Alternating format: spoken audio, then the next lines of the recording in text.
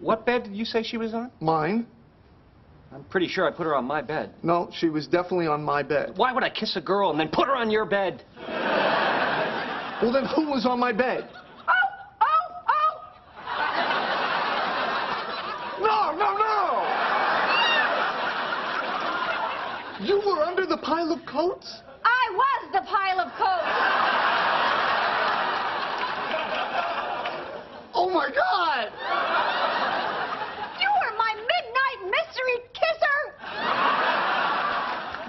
my first kiss with Rachel?